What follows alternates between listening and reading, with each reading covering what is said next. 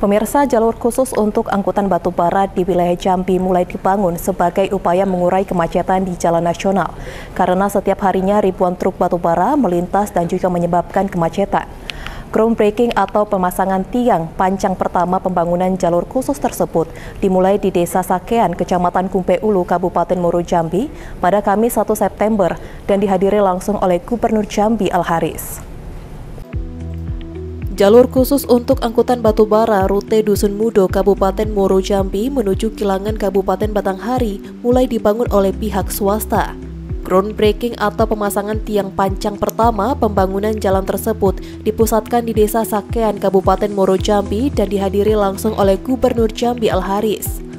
Gubernur Jambi Al-Haris mengatakan, Jalan khusus Batubara rencananya dibangun sepanjang 140 km, namun untuk tahap awal baru bisa dibangun sepanjang 83 km. Menurut Haris, jika jalur khusus Batubara rute Sakean menuju Kilangan selesai dibangun, tentu akan menyambungkan rute jalan alternatif yang dibangun Pemkap Batanghari, yakni jalur Kotoboyo menuju Tempino. Haris berharap pembangunan jalur khusus batubara itu serius dikerjakan pihak swasta dan mendapat dukungan masyarakat, sehingga bisa mengurai kemacetan di jalan nasional, tepatnya di jalur Tembesi menuju Jambi. Nah, saya akan sampaikan sepanjang mereka memang serius akan membangun jalur uh, batubara itu, nah pemerintah tentu mensupport mereka, mendukungnya penuh gitu kan.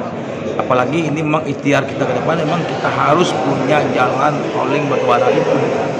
Karena itulah solusi kita untuk memecahkan kemacetan jalan di ruas Jambi, Patanjang, dan Muria. Nah, kita dorong semuanya.